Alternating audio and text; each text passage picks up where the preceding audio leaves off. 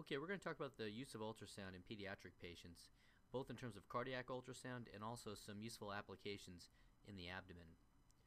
When we look at the heart, uh, we want to use the, the P21 or the phased array transducer.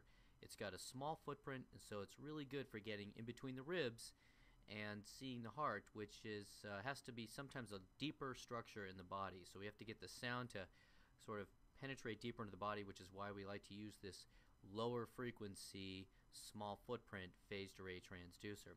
Whenever you look at the heart, I think it's helpful to look at it in multiple windows. The first window we think about is a subxiphoid uh, view, and uh, what you're going to do is you're going to sort of follow the liver edge along the subcostal margin until you can see the heart. And once you get around to the subxiphoid area, you're going to actually aim the beam towards the chin of the patient. Now, you always think about the heart sort of being on the left side of the screen, but uh, actually what we're really trying to do is aim the beam towards the patient's chin, and uh, in doing so, we still use that liver as our margin. You see, the subxiphoid view, it's necessary to use the liver as the window to see the heart. If we were to inadvertently aim the beam towards the patient's left, then we wouldn't have the liver anymore and we wouldn't be able to see the heart at all. Be shining the sound right up into the chest. So in patients who have really small livers for whatever reason, this subxiphoid view is not a very good window. The larger the liver, the better this window is. In order to get the liver to really come out from under the rib cage towards the probe, what you can do is have the patient take a deep breath. And what we see in the subxiphoid view is the following. Here's the liver, and then we can see the right ventricle and then the left ventricle. Here's the right atrium, and here's the left atrium. So the right side of the heart is closer to the liver, whereas the left side of the heart is further down into the body. And we can see over here, once we have a pericardial effusion, it's seen as a separation between that sort of anterior pericardium and the myocardium. In fact, this pericardial effusion wraps itself all the way around, including around the posterior region of the heart as well.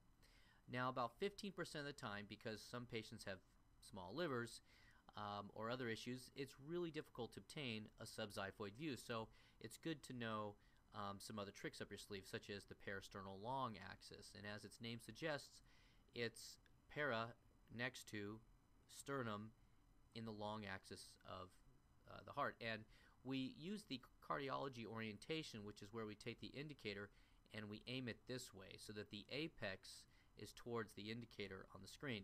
So again, this parasternal view, here's our sternum right here. We're almost actually on top of the sternum. We're just to the side of it, and that's my indicator right there. We can see it's that little nipple with this little groove next to it, and we're going to aim that, that, that indicator towards the patient's left. Therefore, the apex of the heart will be on the side of the screen where the indicator is. And we can see the indicator is over here, which is why the sort of the apex of the heart is seen over here. We can see it also here as well. Apex of the heart towards the indicator because that's which way we aim the indicator. Now this is a three-chambered view of the heart. We can see the right ventricle and we can see the left ventricle and here's the left atrium. And basically the blood is going from the left atrium through the mitral valve into the left ventricle and then it gets pumped out the aortic outflow tract screening athletes for heart problems. Dr. Barry Ramo reveals how certain tests can save lives. It seems like every week we hear about competitive athletes dying suddenly on the playing field. The question is should competitive athletes be periodically screened for heart problems before they compete? A recent study published in the British Medical Journal found if athletes were screened before an event, the risk of sudden cardiac arrest could be detected and lives could be saved. In Italy, where all athletes are screened, scientists looked at more than 30,000 athletes who underwent an electrocardiogram and found almost 5% of them had some heart abnormality that could lead to sudden death. According to researchers, a young athlete dies every three days from an undiagnosed heart problem in the U.S. That's because in most cases the problem goes undetected until they compete. The major cause of sudden cardiac death in athletes is a disease called hypertrophic cardiomyopathy. Often patients with this problem will have a family history of the disease, there'll be a family history of sudden cardiac death, or they'll have some physical findings on examination. But the best test is an echocardiogram, which is an ultrasound of the heart. So far, we're not doing routine screening of athletes, whether they're professional athletes or whether they're just regular high school athletes. But that might be something in the future to weed out those kids who are at high risk for sudden cardiac death. For HealthBeat, I'm Dr. Barry Ramo, KOAT Action 7 News, live this morning. So, with hypertrophic cardiomyopathy, what happens is the septum of the heart gets very thickened, and once it gets thickened, it gets harder for the blood to get pumped out the aorta. And you can see, in fact, this blood here doesn't even get out the aorta um, once it once the patient's exercised, and This gets even a little bit enlarged. The blood can't get back out that aortic valve. And so what you can do is once you make the diagnosis, you can come in and, and inject alcohol in here, and that shrinks down that interventricular septum, thereby making it easier for the, um, the blood to get out the aortic valve. Um, and the, the whole trick is picking up the diagnosis. It's very difficult to do on physical exam, if not impossible. You can see some of the symptoms listed there, but um, essentially, um, what happens is the physical exam can only pick up about 3% of the patients before they experience sudden cardiac death.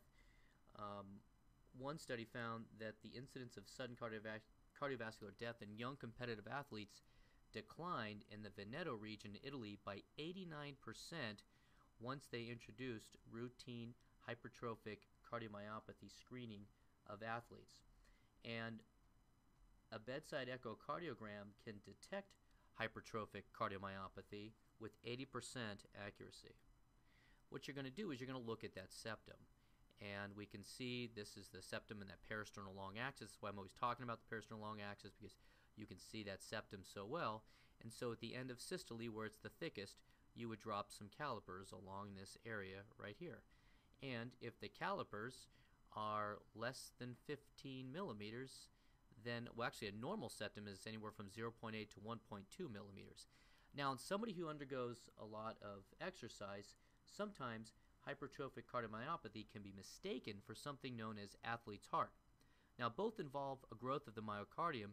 However, um, athlete's heart is generally not correlated with the incidence of sudden cardiac death.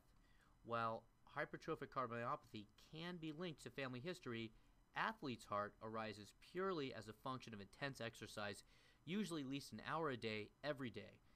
Since the body is operating at high training levels, the heart adapts and grows in order to pump the blood more efficiently. Stoppage of exercise for three months generally leads to a decrease in the wall and the septum thickness in those with athlete's hearts, whereas those with hypertrophic cardiomyopathy exhibit no decline. So people with athlete's heart do not exhibit an abnormally enlarged septum and the growth of the heart muscle at the septum and the free ventricular wall is actually symmetrical. Whereas with hypertrophic cardiomyopathy, we see asymmetrical growth um, and a less uh, dilated left ventricle. This in turn leads to a smaller volume of blood that can leave the heart with each beat. Now, you can see that um, with athlete's heart, it's usually less than 15 millimeters at the septum, whereas in hypertrophic, hypertrophic cardiomyopathy, it's greater than 15 millimeters, and um, it's not symmetric, and we want to definitely get a good family history from these patients. And if you're worried about it, you can check them again in three months if they stop exercising, and athlete's heart should return to normal, whereas um, it stays the same with hypertrophic cardiomyopathy. Another thing that happens is um, you can get a systolic anterior motion of the anterior leaflet, which further obstructs the outflow tract. So here is a cardiac ultrasound showing a systolic anterior motion of the anterior leaflet of the mitral valve during systole. So as the heart's squeezing during systole, look what happens. You can see that anterior leaflet flip up anteriorly and block that outflow track. I'll get my arrow out of the way so you can see it and see if I can pause it right when it happens, right there. So we can see here at end systole, this leaflet flips up and actually occludes the flow of blood trying to get out of the aorta. That's another finding with hypertrophic uh, cardiomyopathy. And you can see how thick this septum is here. Now, Um, switching gears a little bit now, talking about pericardial fluid. That's another thing you want to look for in um, kids. And um, what you look for is an anechoic or jet black fluid in the pericardial space. We see this with pericarditis, we see this with trauma. It can be from uremic uh, causes, malignant causes, and sometimes we don't know what causes it. Um, we see both acute and chronic uh, pericardial effusions, knowing full well that in the acute patient, um, actually anywhere from 80 to 200 cc's, depending on the age of the patient, is enough to cause um, the fluid in the pericardial space to be greater than the ability of the ventricle to fill. In other words, that's called pericardial tamponade, that the, the heart can no longer expand in the sac of fluid and the patient can die. Uh, now, chronically, you can see huge pericardial effusions. In fact, this picture here is uh, one in which we did an ultrasound guided pericardiocentesis, and you can see this. That's about a liter of fluid that I drained off of a patient um, because she had uremic uh, pericarditis um, from uh, renal failure, and basically we were able to take a liter off her heart because it took so long to accumulate that the pericardium was able to stretch over a long period of time. But when you get stabbed, the pericardium can only accumulate uh, up to 200 cc's at the most before you get to pericardial tamponade. Now, sometimes the the, air, the material can look echogenic with various shades of sort of swirling um, echoes in there. You can see different types of effusions like pus, um, if it's an infection, blood with fibrin or malignant um, effusions, and uh, the other thing is after somebody has a recent upper respiratory infection, we do see a lot of sort of um, physiologic, asymptomatic, trivial pericardial effusions. It's not it's uh, it's not uncommon to see that at all. I see this on models quite a bit actually. So it's just something to think about. And then the next question somebody always asks me is, how can I measure the amount of fluid around the heart? Um, and the answer is you cannot using ultrasound. The only way to measure it really is to um, extract it. And so, um, unfortunately, we can't really measure. It's just you just sort of get an eyeball appearance of it. Um, basically, if there's more than a centimeter stripe of distance between the pericardium and the myocardium, that's when I start to get a little concerned about it. Less than a centimeter fluid stripe doesn't bother me too much. And you can see that these are one centimeter hash marks over here on the scale, and this is somebody who's got um, quite a large pericardial effusion. In fact, that was from the patient you just saw in that last image here. We drew a thousand cc's of fluid off this particular heart, and I mean, there's portions where there's like you know um, five centimeters of, of, fluid basically between the between the pericardium and the myocardium. So this is a very large pericardial effusion. Here's a smaller one here, and actually, um, people are, are always asking me about this one. I'll just point out the reason I get questioned about it because people see this right here. They see these little um, material in the pericardial space, and they say, "What is that stuff in there?" And I say, uh, "I don't know. I don't really care. I know that there is a pretty good sized stripe here, more than a centimeter, and in fact, it stretches to go around posteriorly as well uh, around this patient's heart. So that's a little bit concerning. Um, but um, so yeah, so what's in there? I'm not sure. Could be some loculation, some fibrous material, could be some fat. Um, but my eye is really trained to look for the pericardial effusion in that subxiphoid view. Here's uh, another subxiphoid view showing another pericardial effusion, a couple centimeters there of a fluid stripe seen uh, anteriorly. We can also see that fluid marching around posteriorly as well. Um, now in the parasternal long axis, um, this is what a pericardial effusion looks like here, and we can see the heart swinging back and forth a bit. Uh, we see that when we see larger pericardial effusions, uh, and so during um, systole, at the end of end of systole, we can see the heart, the pericardium up here pull away, the myocardium pulls away from its pericardium. We also see it posteriorly as well. But if you look very closely, I want you to pay close attention to something here. This is the descending aorta. This circle right here is the descending aorta that we see on the parasternal long axis. And here is this pericardial effusion that tracked itself anterior to the descending aorta. In other words, it's between the left atrium and the descending aorta. We can see this wedge of fluid tracking up here. And that's what def defines this as a pericardial effusion. If this fluid was to track posteriorly behind the descending aorta, then we'd be more worried about a pleural effusion or fluid in the chest. Now, this next scan is somebody who came in with abdominal pain, right upper quadrant abdominal pain, a fourth year medical student. uh, last summer uh, did this study, went to the bedside, looked at the gallbladder, scanning through the gallbladder, but in the corner of his eye saw this down here on his scan and thought, that's strange. What is that? And focused in on it more. And look at this. This patient has quite a large pericardial uh, effusion there. And um, this patient actually ended up needing to go uh, to the um, cath lab to get a, uh, a pericardial pericardiocentesis. We can see there's two to three centimeters here of fluid between the anterior pericardium and the myocardium.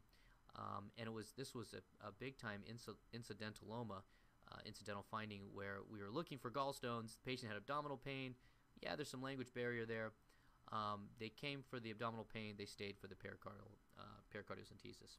So, so what really is pericardial tamponade? Then you're probably wondering.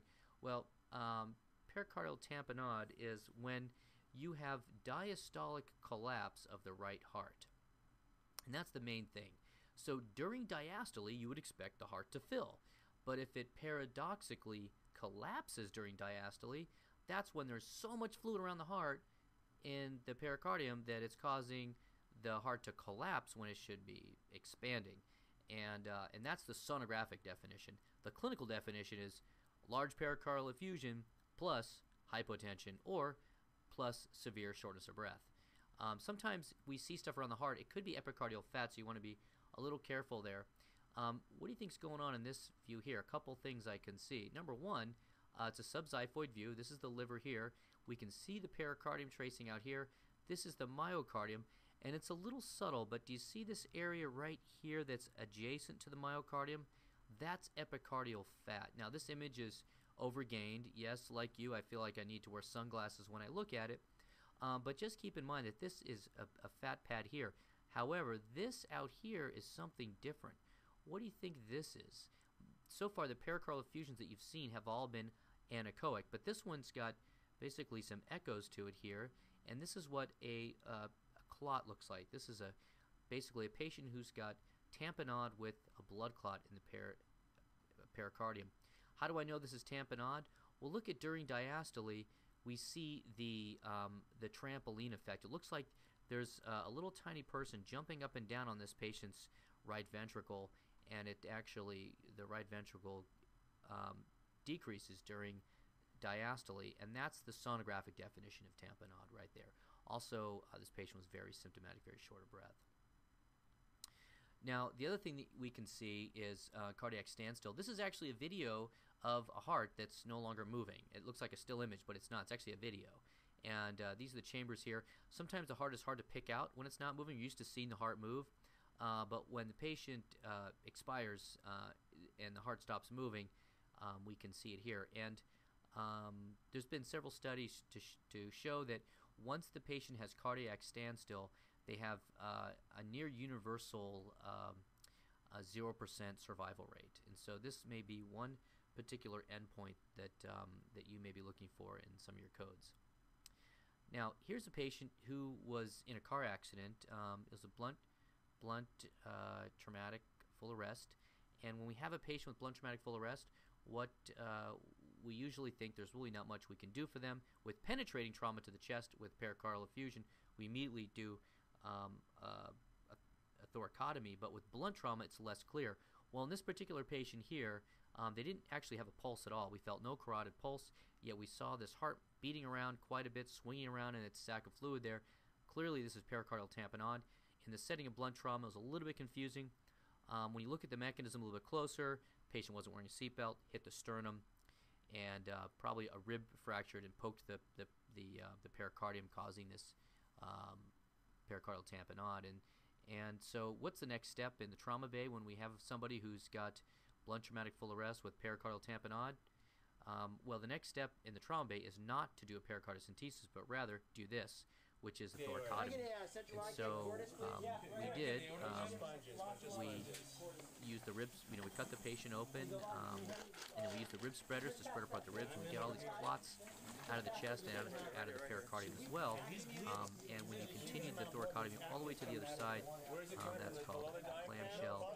Um, but it's something we always look for now in our blunt trauma patients and who are in cardiac arrest to uh, to try to rescue them from that. And the person that you see right here has it did did come back to life and actually was discharged from the hospital, um, even though they got an, uh, an emergency department thoracotomy. So we've had several patients now over the years survive an, um, an emergency department thoracotomy um, who had blunt traumatic full arrest. Now, I'm switching gears now. I'm going to talk about um, CT scans in kids. And I know this is an ultrasound talk, but I want to just bring your attention to something that many of you may not be aware of, and that's that we've had an unbelievable increase in the amount of CAT scanning going on uh, throughout our emergency departments. And this was a study published three years ago showing just that, um, that over the last, of the prior six years, from 2000 to 2006, we saw just gigantic increases in the amount of CT scans for the various uh, modalities. And this is not adults, this is, this is all in, in kids. And so it's something to be concerned about because um, kids respond to radiation uh, a little bit differently. And, uh, and as this chart shows here, um, kids they basically have more radiosensitive tissue and they live a longer life and so cancer can develop um, it can take a longer in certain cancers that take a longer time to develop they will um, develop in, in younger people at, because they have longer time to live to get those cancers and so um, this is um, what happens when you get um, this increase in CT scans. You can see here, this is the estimated radiation-induced cancer risk um, in kids compared to adults.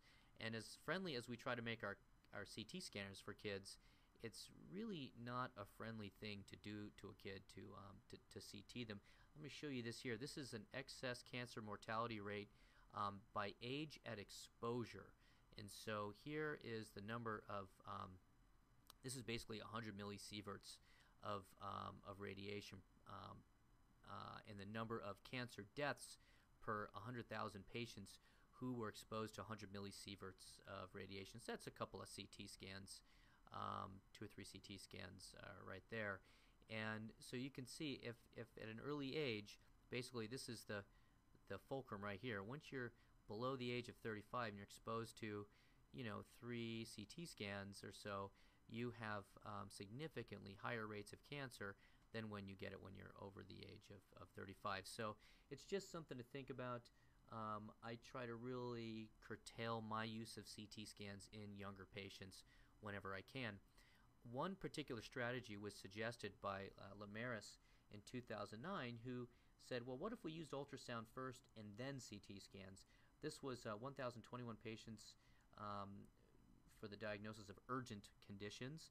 And uh, while CT was significantly more sensitive than ultrasound, it is a better test um, in terms of its accuracy. The overall highest sensitivity actually used a combined approach using initial ultrasound, then CT, and this actually was able to reduce radiation by 50%. So that's something to think about. If we got good, if we got better with ultrasound and really thought about it a lot more, especially in kids, we could um, avoid the need for CT scans. So in about about half the time. So I'm going to go through how we can use it in the pediatric abdomen now in terms of three potential diagnoses, pyloric stenosis, intussusception, and uh, appendicitis. So um, it turns out that ultrasound and kids are, are good matches for one another. Kids are very um, what I call sonogenic, and it's because they don't have a lot of fat, basically, and they're small, so we can use higher frequency transducers, and they have a lot of cartilage compared to the amount of um, ossified bone, and so ultrasound goes right through cartilage very easily. It does once the bones get get ossified and they get you know very dense, the sound gets reflected. So kids have lots of cartilage, which is which is nice for ultrasound. And um, as opposed to putting somebody, a, a, child who's squirming around in a CT scanner where they have to sit still, you can actually put the child, plop the child right down in mom's lap, and uh, scan the child uh, right there without any sedation at all. So you don't need um, to sedate them, which um, has mixed. Uh, you know, if if you whenever you sedate a kid, um, you have to sort of control their airway, and it puts them at risk uh, for a complication there. So we do it when we need to, but if we can avoid that, uh, it's it's a good thing. And this is an example here of uh, a patient who's got appendicitis, and this is what it looks like. This is the the skin line up here. This is some muscle, and this is the appendix swollen uh, right here, and it's uh, greater than six millimeters. Actually, wall to wall measures 1.03 centimeters. And that's what acute appendicitis looks like. Um, which probe do you think we're going to use? Well, um, normally when we look in the abdomen on adults, we have to use this probe here, uh, but on kids, we actually get to use this probe here, my favorite probe, because it's got such high frequency and makes such pretty images. Now, one of the techniques that uh, you want to use whenever you work with kids, um, of course, um, you want to use the high frequency linear probe the patient in the parent's lap. Lie the patient supine as best you can. It actually helps to bend their knees a little bit too. Um, but um, it's this part right here, warm gel. It's amazing how the cold gel in the kid can, you know, it's like you're bringing a little squirrel over to eat a nut out of your hand, and all of a sudden you freak them out with the with the cold gel. So put some warm gel on there. Uh, we have a gel warmer uh, that we keep a bottle set aside for kids with. Uh, in our, it's actually in our heater for our warm blankets as well. So um, that's the way to go. Now um, let's first talk about pyloric stenosis. So pyloric stenosis is where you get um, thickening of uh, the hypertrophy of the pyloric muscle here, and um, it occurs in about 1 to 250 kids at a male to female ratio of 4 to 1, very, very early in life. You know, that neonate that comes in with non bilious projectile vomiting, every single one of these kids is um, consideration for um, pyloric stenosis. Now, on physical exam, it's historically shown that um, you want to palpate the olive and basically you push around on the abdomen trying to feel this thing right here which is this um, stenotic uh, hypertrophied pyloric valve and actually palpating the ol- olive was only shown to be uh, present in about 23% of, of patients um, whereas ultrasound has uh, very good test characteristics to pick up um, pylor- pyloric stenosis now the ultrasound images of the gastric pylorus, um, when it's greater than 1.6 centimeters uh, in length or 4 millimeters in thickness, and so right here, this is the length right here. If that distance from here to here is greater than 1.6, or if the thickness is greater than 4 millimeters, then we think about um, pyloric stenosis. Um, and you do this in real time and you'll see peristaltic waves from the proximal stomach um, which do not transmit the fluid down through the fundus. So this is the proximal stomach here, and um, we it'll be peristalsing. The stomach will be squeezing, but it can't get the fluid through this stenotic uh, pylorus. Um, some of the limitations here is if the patient's crying, you have to kind of do this between the cries. So as the patient goes, wah, you can't really do it then, but when they between the cries and they go to take a breath, everything relaxes, and that's when you can get in and get a good view. So sometimes you you only get the view while they're crying between uh, the cries, and um, if there's a lot of bowel gas, if if you're actually if the patient has a bowel obstruction, there's a lot of bowel gas everywhere. This can be a somewhat difficult um, study to do. And if they've been crying a lot, sometimes they swallow out of air, and we know air is the enemy of ultrasound. So instead of being nice fluid in here or formula, whatever this is, there's air in there and that can get in your way. So that has a couple of limitations. Um, but a lot of times when the child vomits, a lot of gas comes out of the stomach and we actually get um, rid of that air. So vomiting can be a helpful thing when doing ultrasound.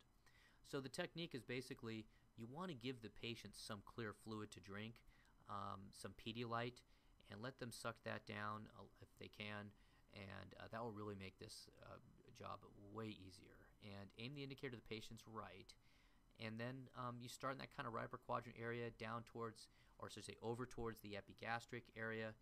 And um, in the transverse section, it looks like a donut, and you just saw what it looked like in the longitudinal section. These are the two views here. We can see the pyloric uh, canal length if it's greater than 14 millimeters, if the thickness is greater than 3 millimeters, and if the diameter, um, I should say the diameter uh, here is more than um, 11 millimeters. Um, that's uh, suggestive of uh, pyloric stenosis. We can see it over here to the diameter, whereas the uh, muscle um, thickness is going to be from here to here. This is the muscle thickness here, and that's if that's greater than 3 millimeters, we worry about pyloric stenosis. So those are the three things. The canal length, the diameter, and then the muscle thickness here. Um, again, this is how it looks uh, when it's positive. And we're going to change gears now and talk about intussusception. Now, intussusception is where you have telescop telescoping of the bowel segments. So you get the, um, and I had to kind of relearn this anatomy here. The intussusceptum is what telescopes into um, the intussuscipiens, intussuscipiens, sippins. I can't pronounce it obviously, uh, but that's the idea. You get this. This is called intussusception, and this is what it looks like uh, when you're in the operating room and you're and you're demonstrating it uh, real time, and it causes full-blown intestinal obstruction. So patients come in with, not surprisingly, the triad of colicky, abdominal pain, vomiting, and bloody stools. Unfortunately, that classic triad, like all classics in medicine, is only present about 20% of the time. The typical age range is three months up to two years. Now, there is something um, called the uh, currant jelly stools. It's where you have blood plus poop.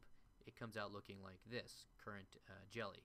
And um, luckily, ultrasound, very, very good with intussusception. It's got about a 100% uh, sensitivity to pick it up. And the way you do this is um, you can, um, this is an example here, placing the patient in a warm uh, water bath here um, and holding the legs together as we're doing the ultrasound. And by holding the legs together, specifically by sort of squeezing uh, the buttocks together, um, that can um, help actually reduce some of this um, and, and fix the problem. But to diagnose it, though, we're here with the ultrasound probe and we're looking at the ascending and then across to the transverse colon, any areas that's non-peristaltic because these intussusceptions, they don't peristalse. Normally, peristalsis occurs um, about every 8 to 10 seconds, um, but you can stare at this bowel, it's not going to peristalse, and you'll see a mass or a target sign. Now, this is what normal intestine looks like. It's got sort of a layered appearance, it's easily compressible, and it's got intermittent peristalsis. This is, we can see here on, in the long axis of this bowel, kind of cruising along, there's air in it, and so the air makes it so we can't see the rest of the bowel, which is normal. And in a short axis, between peristalsis, this is normal bowel here, seen in a short axis here, when it's it's uh, in the middle of peristalsis, all the air gets kind of pushed aside, and we see the actual rugae here of the bowel. And that's what normal bowel looks like um, in a normal patient. These are blood vessels down here, and this is, again, what normal intestine looks like up here. Now, with intussusception, on the other hand, here's the problem. In the short axis, it really does look like a donut. It's got this target configuration. In a long axis, we call this the, uh, sometimes it's called the Hayfork sign or the pseudo kidney sign. And um, but this is what that that target shape looks like. You can see why ultrasound has such good test characteristics here to, to pick up um, this because it's got that target uh, formation. Here's another example here of the uh, target sign of uh, intussusception. We can see layers of bowel um, seen with that hyperechoic segment around that uh, inner layer there. This is basically like a little target uh, symbol there. It's all that bowel invaginating in um, with the mesentery in it and that's what causes these layers. And uh, here's another example here of uh, intussusception, and and we wrote on here no peristalsis seen. Um, again, it's that targeted layered appearance. Um, another example here of a pretty straightforward case. We see layers of bowel along with the hyperechoic segment around the inner layer um, due to the invagination of the uh, mesentery that came through here. This is the actual video of this patient. Um, we're right around the epigastric area, under the liver. We moved it over to the right upper quadrant, and it's uh, where the ascending, the transverse colon came together. We can see the uh, intussusception um, starting to appear right there. And uh, that's that's it right there. There's actually kind of a long axis of it right there. Now we're in short at the end of it. So that's the um, what we're looking for. Now, changing gears, uh, one final time we're going to talk about appendicitis. One of my favorite topics. Um, this is the most common surgical emergency in children. Uh, in children, the peak of appendicitis is between age 9 and 12 years old. And uh, again, fever, abdominal pain, vomiting, anorexia, right lower quadrant pain, generalized abdominal pain that then localizes itself uh, to the right lower quadrant. It turns out about a 30 kids present without that classic presentation. And so whenever you have something that's not presenting classically, you got to turn to imaging. And um, and uh, you could you could get an X-ray, but um, you, you maybe get lucky and see what's called an appendicolith. That's basically um, translates to essentially a poop stone sitting in the appendix. What happens is um, a very sort of hardened, calcified um, stool can occlude the lumen of the appendix as it comes off the cecum, and that's what's known as an appendicolith. And the other thing you can see around that area is a focal ileus in that region, or or um, where the bowel stops, um, what's like a focal bowel obstruction is what that means. So um, we get a surgery consult a lot of these patients, um, and the first thing the surgeons many times, um, well, historically have, have turned to has been CT scans. Lately, though, I've noticed that especially our surgeons at UCR are getting very good about using CT as a last resort, and so that's been very uh, reassuring to me. Uh, the approach to uh, to appendicitis, um, but you can see why they've historically have turned to CT scans. The sensitivity for CT is actually um, with the new CT scans, uh, the multi-detectors, it's all up around 96%, 98%. It's very, very good. Now with ultrasound, the sensitivity uh, depends. It's a very operator-dependent thing, and some people are really good at doing these, other people aren't. It takes a lot of patience. Um, the the lower specificity that we see with ultrasound has to do with the fact that it's really difficult to see a normal appendix. And in fact, even in the best of hands, a normal appendix is seen less than 15% of the time. So feast your eyes on that, my friends. That is a normal appendix, which you rarely, if ever, see. We can see the iliac artery here, and it's just kind of stretching out over the iliac artery. Along its, um, this was an 18-year-old woman I had who had right lower quadrant abdominal pain, and on this longitudinal scan, we're able to see the, uh, the longitudinal scan of the appendix, I should say, the long axis of the appendix. We're able to see this tubular blind-ended structure with nice thin walls and if you measure from from outer wall to outer wall okay here to here here to here here to here you're going to get less than five millimeters. Um, and that's normal. It, you can get up to six millimeters to have a normal appendix. Now just to show you on a CT scan what it looks like this is abdominal skin out here. This is fat. Uh, we can see all this around the the body here. So this is actually the human being here and this is all society uh, influence out here. This is all just fat and stuff. So, um, and that's where ultrasound can be difficult if you have to compress all this fat here um, in order to get to see the, the muscle. So this is abdominal oblique muscle. This is the rectus abdominal uh, muscle here, and we can see this thickened appendix um, right here, and we can see the psoas muscle over here. So the idea is to compress this abdominal wall musculature until the appendix gets squished between abdominal oblique sometimes the appendix is a lot more medial and we can actually end up compressing this rectus muscle or abdominal oblique all the way down until you come in contact with the psoas muscle. And if you have acute appendicitis, the appendix gets stuck between these two muscle layers with ultrasound. So you're pushing the probe way out here and squishing the tissue all the way down. So you can imagine how much pain medication you may have to give a patient in order for them to allow you to compress it. And so basically that's what you're doing. You're just kind of, it's like, you know, you wait for it, wait for it, wait for it, and then all of a sudden um, you should see the appendix eventually pop its head out at you, and then as fast as you can see it, it's gone again because you you moved past the area. Then you go, oh wait, wait, back up, and then you go back, and you're like, wait for it, wait for it. You're compressing, you're compressing, and then all of a sudden, whoop, pops its head out at you, and then you can freeze the image and show that to somebody. It's kind of what we're seeing here. Um, we're going along, we can see some bowel peristalsing here. Here's psoas muscle right here, and psoas muscle is being compressed. You're, basically, the probe is up here on the skin line, subsubcutaneous fat. Here's muscle right here, and we're going to push that abdominal wall musculature all the way down until it comes in contact with psoas. And we can see some psoas right here, and here's a loop of bowel right here. Maybe that's the appendix, I'm not sure. But it gets squirt, squirts out of the way. Here's some iliac vessel here. That appendix is becomes um, ovoid and squishes out of the way, and it's nicely peristalsing. So in this case, this is definitely a negative study in from what we can see so far. I should say no appendicitis visualized is the way you kind of document it. But that's the idea.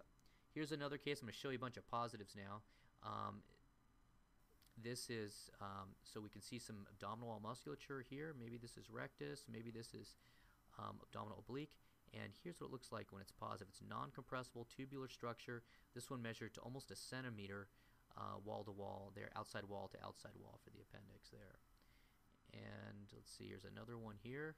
Uh, I think uh, they came to here. They're going to measure this sort of outside wall to outside wall, and I would actually drop the caliper right here. I think this is an example of where not to drop the caliper, but the idea is you want to go here to here. So it's a little bit less than eight, probably seven, still abnormal.